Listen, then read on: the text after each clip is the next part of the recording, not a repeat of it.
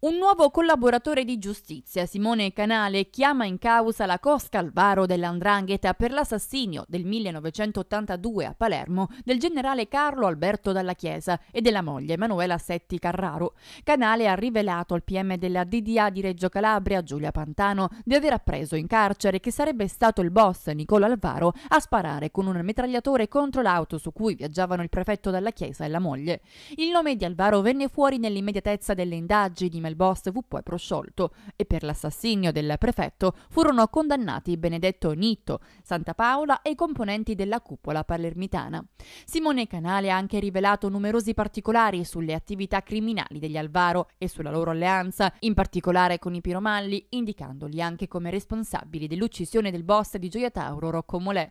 Le dichiarazioni di Canale sull'omicidio di Dalla Chiesa e della moglie sono state trasmesse alla DDA di Palermo.